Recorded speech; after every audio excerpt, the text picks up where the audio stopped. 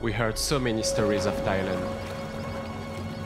The vibrant pulse of Bangkok, the mystic of northern jungles, the serene beauty of temples, and the precious islands emerging from an emerald sea. But beyond all that stands a warm and welcoming people, a people with a thousand smiles. So we couldn't resist. We had to see it for ourselves. This is the story of our journey in the land of the free.